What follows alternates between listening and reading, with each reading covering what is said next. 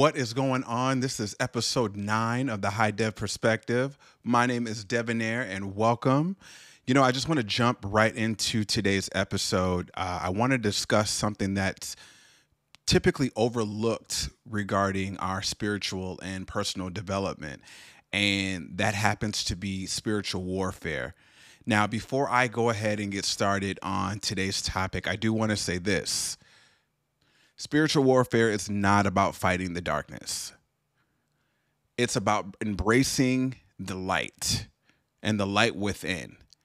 I felt that I should start off the episode with that quote because there tends to be so much, I don't want to say stigma, but there tends to be a lot of information that could be misleading when it comes to the actual spiritual warfare spiritual warfare is the struggle between the forces of light and darkness within and around us. It's not just about external conflicts, but it's also about internal battles that we face on a daily basis. It's important that I highlight and mention the importance of being self aware when involved in spiritual warfare um, within our lives and this awareness helps us recognize the negative energies or influences that may be trying to divert us from our true path. Now, when I started my spiritual journey, you know, as I continued to awaken, what I started to experience within my reality was there was a lot of my shadow of course, because you know there's a lot of shadow work that's involved. That was creeping up to the surface. And when I say the surface, it was it was a battle. Let me give you a perfect example. As you as you're all aware, I'm gay. Ain't no secret. but um my sexuality with within myself was it was a diff it was a battle and not only was it a battle it was a battle within myself because one i was already in a space of i don't want to say denial but i was not living my authentic truth uh, to myself and to my family and so i was so accustomed to putting on a facade in front of certain people and then the ones that i you know the ones that were fully aware of you know me being gay I just let it all hang out. And so, what typically happened, or what happened within my reality, was, you know, I got to a point where I was tired of being or pretending to be something that I'm not anymore. And that tends to happen once you reach a level within your journey. And so, when I finally came out to, you know, my family, my friends, the world, hell, everybody, I started to develop more and more of my my traits within my masculine and feminine feminine energy. And I've always had a external demeanor about me, you know. And when it comes to my feminine side, I didn't want I didn't want to embrace it. And so, you know, like I said, as I'm becoming more truthful and more authentic to myself and showing up to myself in a more truthful way, I started to question my femininity. I used to hide it, you know. To make a long story short, there was because I had opened up the door to both mass my masculine and feminine energy now being more comfortable with myself I started to develop more feminine traits. And it got to a point where I genuinely thought that I may be trans. And the reason why I say that is because, you know, I was, like I said, opening up the door toward my feminine energy. And it was nice. It was liberating.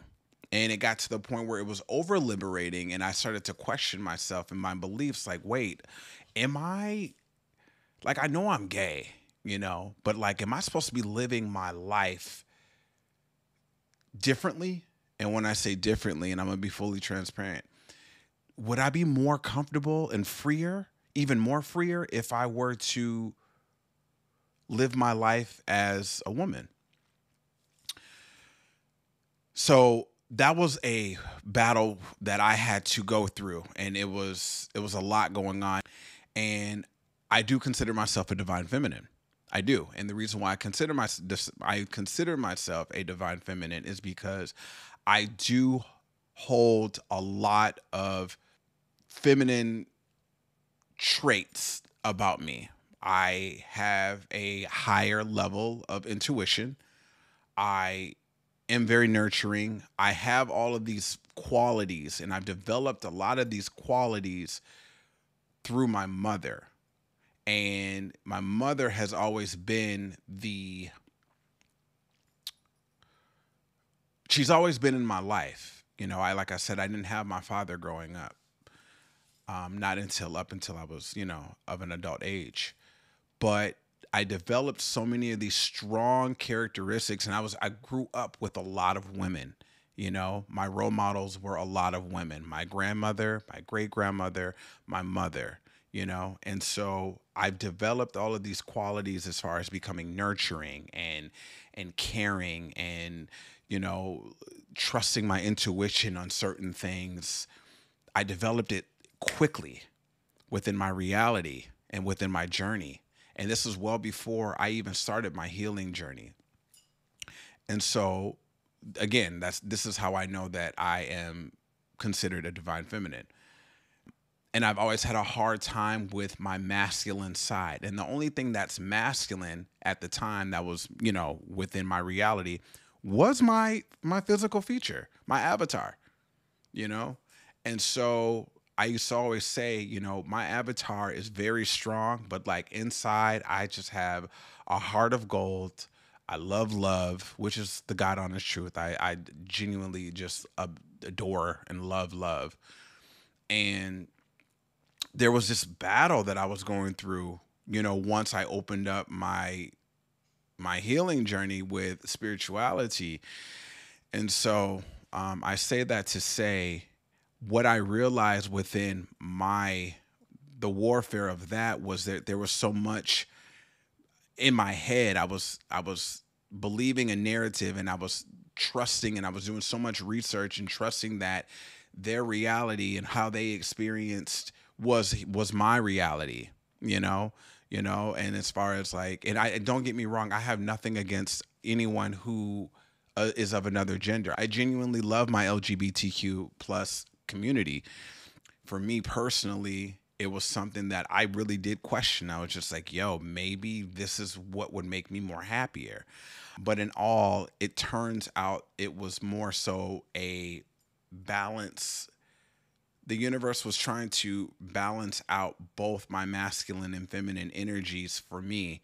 And now I'm in this space where I identify as a man. And not only do I identify as a man, I am a divine feminine male. And part of the process of my journey was to balance out equally my energy between my feminine energy as well as my masculine energy.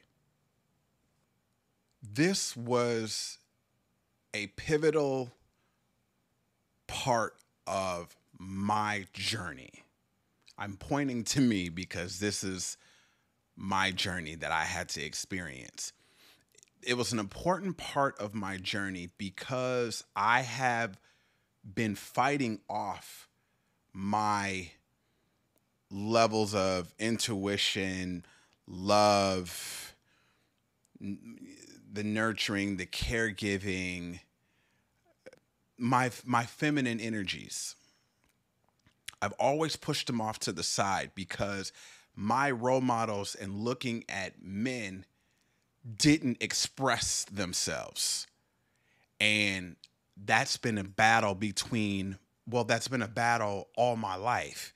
You know, part of my trauma was I was made fun of because I was so sensitive and that I would, you know, I would cry a lot and my I, I had feelings. You know, I have I got real life feelings. And I wasn't afraid to express them.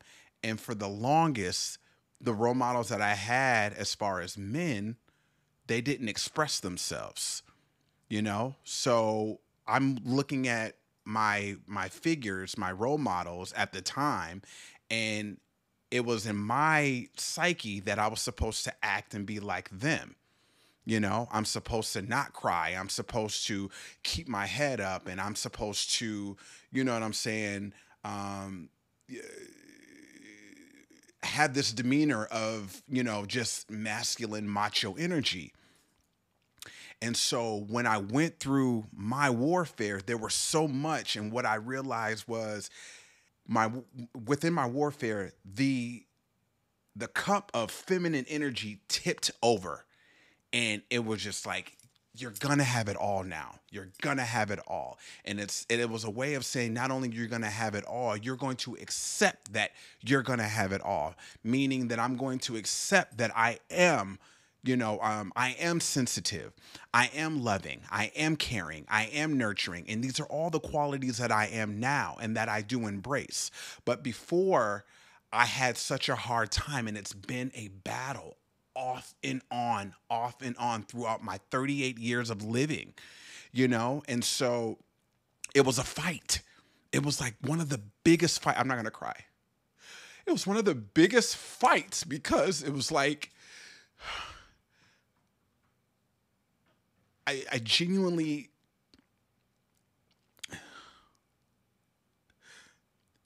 it was like I didn't know who I was you know? And so when I was going through the actual process and the actual thoughts within my head, and mind you, what typically happens is you know you're you you start having these intrusive thoughts and so they started to get the best of me and you know i was questioning and i was it was it was it was a rough time but it was a necessary time and i'm very thankful that i pushed through and i persevered and i've made acceptance of who I am. You know, I am Devinair Mathis. I am sensitive. I am a man. I am gay.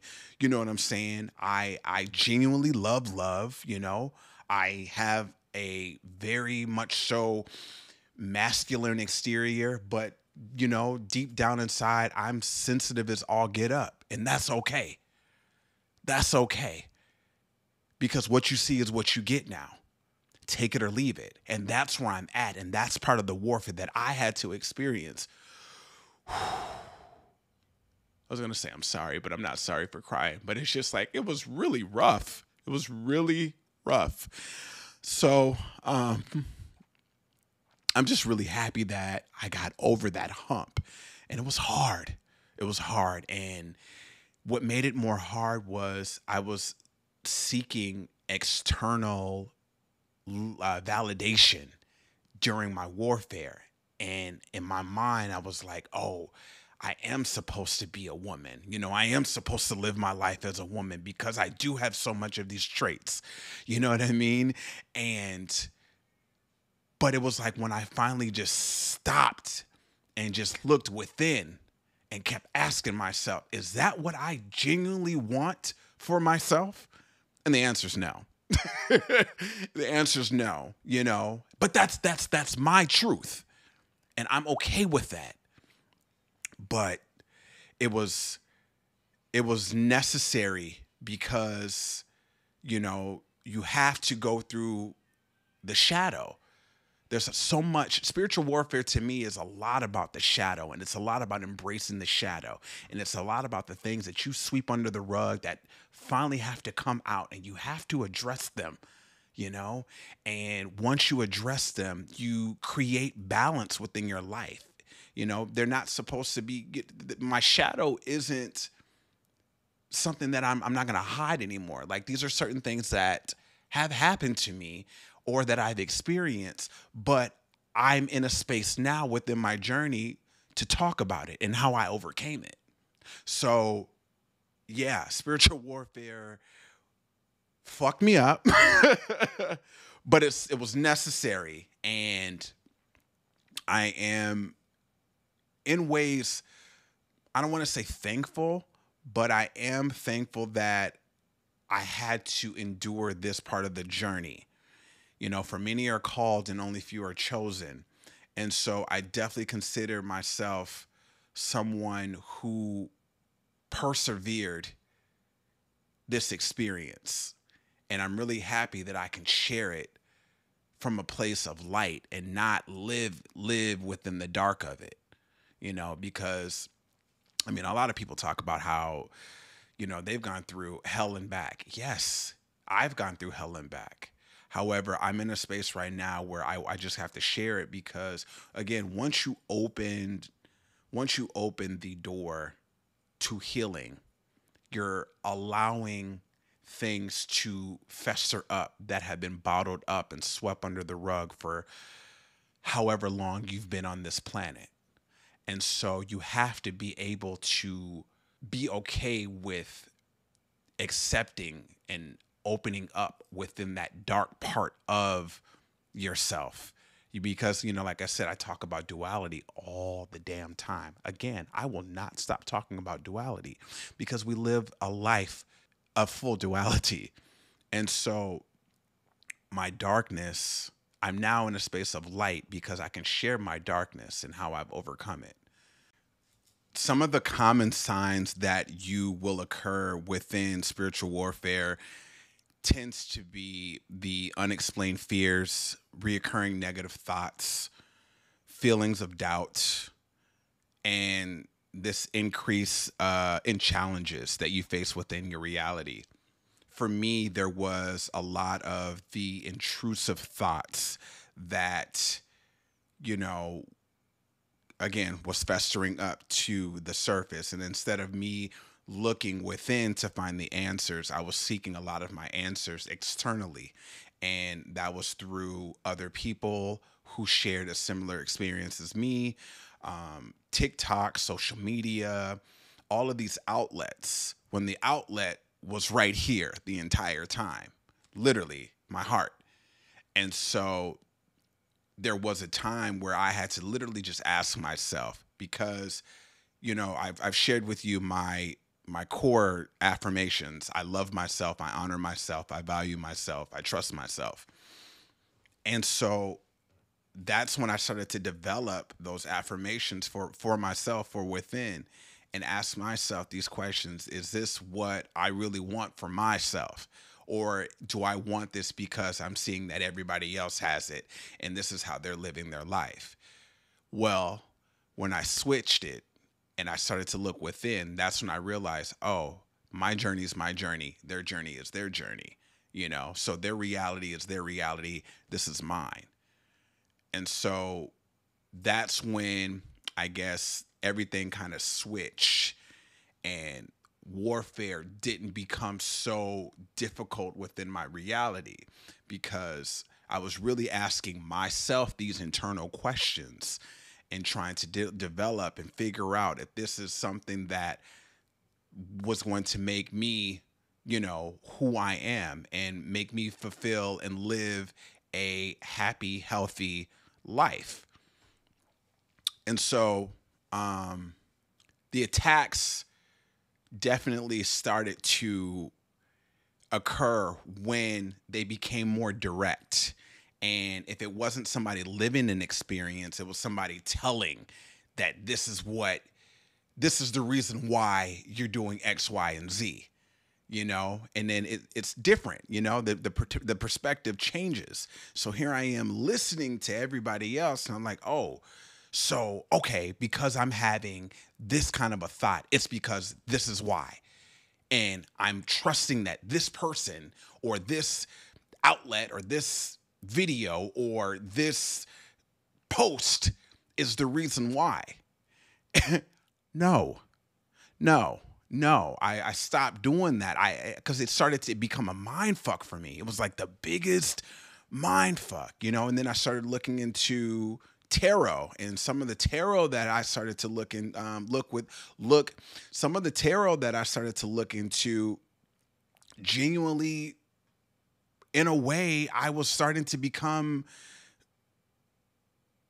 addicted to it and truly honoring and trusting that they're they had the key to my life. And it's like first off, these readings are collective, okay? They're collective. So you take what resonates, but here I am taking all the information. And so I started to take all the information and I started to just really create more warfare within my reality that was unnecessary. And so again, I eliminated all of this when I finally sat with myself and said, I'm going to truly trust how I feel. You know, I'll ask myself a question. If I feel a certain way, that's the answer that I'm going to receive, or that's the answer toward the question. So, you know, perfect example when I said, do me living my life as a woman, would that fulfill me? I started to feel like, no, no, it's not. I like I like this avatar. I genuinely love this avatar. I've had so much fun with this avatar. I don't want to change this avatar. This is the avatar. I mean, of course, I'm gonna grow my hair out, but you know what I'm saying. But like, that's also me. Uh, sidebar: me growing my hair out right now, that's a whole thing about me balancing my my masculine and feminine energy. I've always wanted to grow my hair out. I just want to have the experience one time. Once I do it, I'm cutting this bitch off. I'm going right back to regular schedule programming. but it's just, you know what I mean? Because that's where I'm at now because I'm so comfortable with who I am and and my masculine and feminine energies. But before it was I am a gay male I had to live a masculine life and nothing feminine should, should ever come out. Uh, that's not me living a truth. That's not li- that's not me living in within my truth. And so that's why the balance, you know, when I said earlier, the the the, the cup spilled, the feminine energy, to to to balance me out, to balance who I am and what I come with, you know? So yeah, looking within is very crucial when you do experience warfare and trusting yourself. And when you start to look within, it makes it a little bit easier. Actually, not even a little bit, a lot easier because the answers are within. They've always been within. I can't stress enough the importance of spiritual practices within your reality and your journey and how important they are to keep you in a balanced state. Meditation, journaling, affirmations, grounding, taking care of the mind, taking care of the body, taking care of the soul, listening to music, yoga. There's so many different practices out there and that are available to you my biggest recommendation is always try try them all and curate what works for you because there are certain things that work for me that may not work for you. You know, I've always used to encourage people to go work out, go work out. Certain people just don't want to work out. I mean, that's fine. But they would rather do like yoga. So in my mind, I'm like, okay, well, that's still technically taking care of your body. So that is fully acceptable. Whereas I genuinely like yoga. I genuinely lift weights, like heavy weights. Yeah, just curating mindful practices that work for you. Like I said, I've I do a lot of things. And what I've noticed is I've developed a lot of new practices within my journey over the years. You know, so like before it was just strictly gym. Now it's like gym, meditation, yoga, grounding. And when I say grounding, I'm literally putting my toes my little tooters, my little nuggets in the ground, in the soil. You know what I'm saying? And I'm connecting with earth. Hell, I actually um I hug trees. I don't think I've ever shared that with anybody. Like when I go on my little walks, I like to touch the trees and I hug them. I ask for their permission. And then if I get a yes, I'll give them a hug. But I acknowledge that I see them and that they've been here well before my time and anybody else's time that's currently on this planet. So just being aware and mindful of my surroundings. But um, yeah, mind, body, soul is very important, especially to eliminate the potential occurrence of a spiritual warfare within your reality. Oh, I completely forgot developing a level of affirmations for yourself, you know? Having these affirmations are tuning self, they're tuning within, you know, they're affirming who you are, you know? So I, I, I say affirmations on a consistent basis all day, every day. Sometimes I'm I'm adjusting people's verbiage. If I hear them say it a certain way and I'm just like, uh uh uh uh, no, we're gonna say it like this because it has more power. And so um, that's exactly what it is. Affirmations carry so much power within, and when you continuously say them in rep- repetition, they start to not only affect your internal, but they definitely reflect your external. You know, this journey that we've embarked on, we are spiritual beings, again, having a human experience. We are breaking free from limitations, we are breaking free from the matrix. We are tapping into our ultimate personal power. We are all powerful individuals. And what what you'll experience within this part of having full acceptance that you're going to trust yourself and this journey, the spiritual journey, I should say, is that there comes a lot of test and when I first started, I thought that the tests were only in the beginning. And once the test, I'm sorry, I, because I'm just thinking about so many times. Anyway, what happens is you're going to be tested day in and day out. And what I was saying earlier was when I was going through my spiritual process, I thought that part of the initiation was just the test in the beginning. And then once you pass, they're done.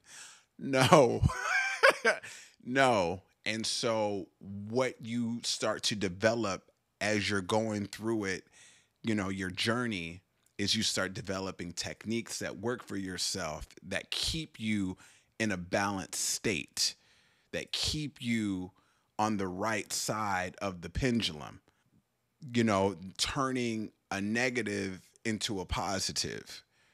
And so even to this day, you know, I'm tested. You know, I was tested the other day. I, w- I went to a, I went out with, I told you about my homegirl, Jasmine, in the last episode. I went out with her to go have acai out in Studio City. And that day, was just a cluster. We had the earthquake. There was um, a discrepancy with my credit card. Long story short, somebody did fraud on my credit card, and um, I was trying to do a good deed for my friend when we went to have acai, and I was trying to throw her food away because she had just finished it. And the napkins flew all over the place. Everybody's looking at me, and I'm just like, okay. But one thing that I did do was I stopped in my tracks and I looked up at the universe and I said, I know what you're trying to do. You're trying to get me to react, but I'm not going to react. I'm going to turn this what into so what. and I went about my day and I went about my business. And oddly enough, which is really crazy or not crazy, nothing's crazy. The next day was a great day. In fact, I received two auditions. And I was just like, oh, you know, but I say that to say keeping your energy, your energy is expensive. I say that about myself. My energy is expensive and your energy is expensive. You didn't come this far just to come this far and not be happy. So when little things like that try to steer you off, you already know that these little things are going to try to steer you off. There's no such thing as coincidences because everything happens for a reason. And everything that happens, that happens for you, you know? So I have this clear understanding now. And I do my best every day. And remember, I'm not perfect and I don't desire to be perfect because the polarity is we are spiritual beings having a human experience. You see the, du- the, the, you see the duality in that? And I said there's duality in everything. And so I do my best to try to stay on the right side. And when I said the right side, that's the good side, the positive. Uh, the positive side of life. And I do my best not to just get tested or not get tested, but I do my best to not react because that's the ultimate test right there. Are you going to react? Are you going to fall under pressure when shit hits the fan? Are you going to turn your what into so what? And for me, I'm going to turn the what into so what. One thing that I want to make sure that I address within spiritual warfare is the the faith, the role of faith and trust that comes with this experience. I do hope that you are just as much as I'm doing for myself trusting yourself, honoring yourself, valuing yourself, and forgiving yourself and giving yourself the grace. Giving yourself the grace. I say this all day, every day. And sometimes I have to give myself the physical reminder.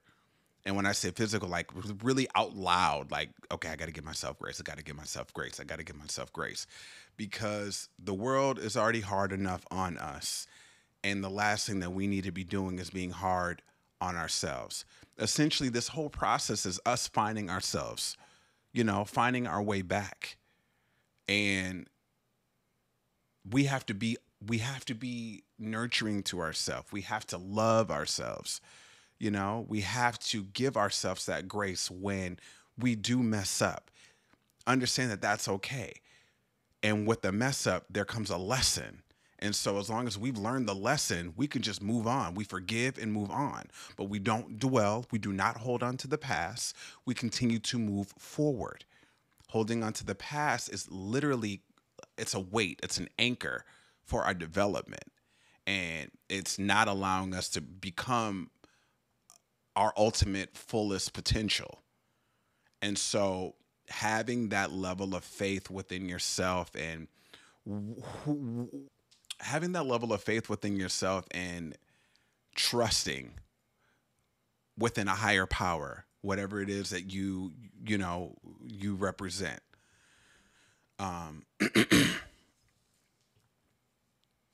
and so yeah i say that because that's this is a crucial part of the process. That's going to wrap up our episode on spiritual warfare. We talked about what it is the importance of it the awareness, having that high level of, well, not high level, but having that awareness around it, the signs of, of spiritual warfare, and the tools and strategies. I really do hope that some of my personal experiences will be able to help guide you within your own personal journey. So you're able to take what resonates and apply it to, again, your own personal journey and create tools and strategies and tips that will help you because at the end of the day, you know, this is your journey. Mine is mine and yours is yours. But at the in the end, it's about us finding our ultimate power and being the best versions of ourselves. So I really do hope that you're able to seek within answers and when you feel doubtful, trusting yourself and understanding that those feelings that occur when, you know, making a decision, those feelings are real. Those feelings are, you know, your intuition. Those feelings are guides that help you along your journey. So trust that. Honor that. If you enjoyed what you've heard, please consider subscribing or following me on your favorite podcast platform. And if you really loved it, please leave me a review because it helps me reach more listeners like you. I still can't get over the fact that that rhymes, and I'm going to keep saying that. reach out to me on social media, and that's the High Dev Perspective. That's on Instagram. Um, you can also reach out to me on my personal pages and my social media, which is just my name at Devinair Mathis, and that's both on TikTok and Instagram. I don't bite. Hit me up. Lastly, if you have a topic you want me to cover or a question that you want me to answer, please shoot me an email at thehighDevPerspective at gmail.com. I might feature your question in an upcoming episode. So I think next week I want to discuss a little bit about radical forgiveness. So be on the lookout for that episode.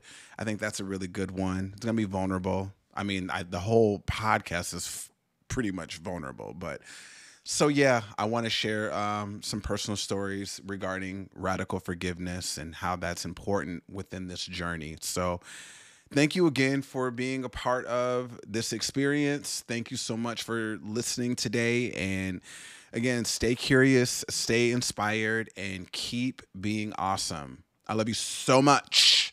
Okay, bye.